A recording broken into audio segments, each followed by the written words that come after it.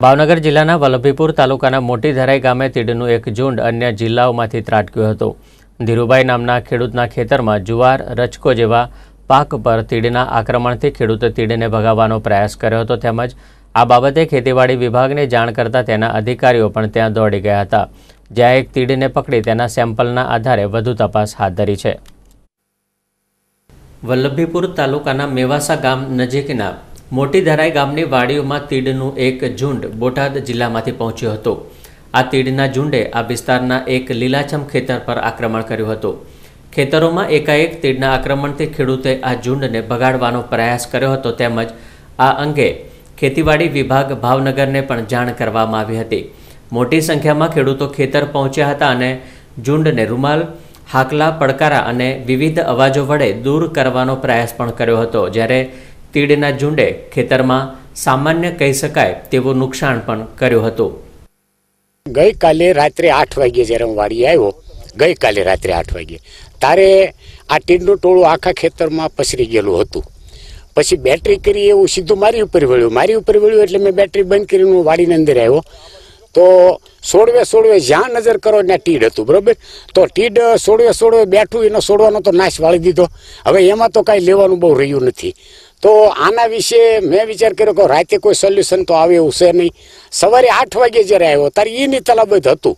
એટલે મેં વિચાર કર્યો કે હવે આપણે તાલુકામાં જાહેર કરીએ. તાલુકામાં જાહેર કર્યું એટલે એ લોકોએ જે કાંઈ સાહેબોએ બધી કાર્યવાહી કરી પ્રોસેસ કરી અને સાહેબોને બધાને મોકલ્યા. તો બધાને સાહેબો નજરે નિહાળીને બધું જોઈ લીધું સર્વે કર્યું કે આ રીતે ખાધેલું છે, આ તે. પણ હવે આમાં એવું છે સાહેબ, જો આમાં તો સરકાર અમને કાંઈક સહાય કરે તો જ અમારો ઉદ્ધાર છે.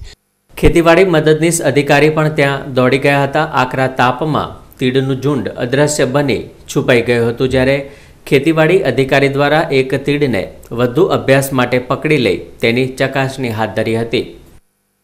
અમે અત્યારે વલભીપુર તાલુકાના મોટીધેરા ગામે આવ્યા છીએ. સવારમાં અમારા ગ્રામ સેવક દ્વારા ફોન કરવામાં આવ્યો હતો કે અહીં તીડનું ઝુંડ આવ્યું છે. એટલે તાત્કાલિક જિલ્લા કક્ષાએથી હું તપાસ માટે અહીં આવ્યો છું. પરંતુ અહીં સમગ્ર જુવારમાં મેં તપાસ કરી છે.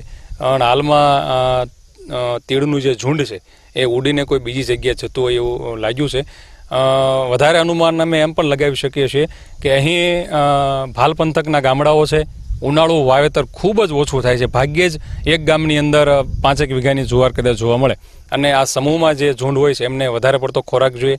એમને રહેવા માટે એને યજમાન પાક તરીકે જો ઘાસચારો કે જુવાર મળે તો વધારે ટકે છે.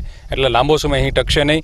અને આ ઝુંડ એ શિહોર પંથકમાં કદાચ પ્રવેશ કરશે એવી અમારી શક્યતા છે. આ પંથકમાં ઉનાળુ પાકનું વાવેતર બહુ ખાસ ના હોય, જેથી વધુ નુકસાનની કોઈ શક્યતા નથી. પરંતુ આ તીડનું ઝુંડ અહીંથી સિહોર પંથકમાં જાય તેવી પણ શક્યતા નકારી શકાતી નથી. કેતન રાજપરા, નિર્માણ ન્યૂઝ, ભાવનગર.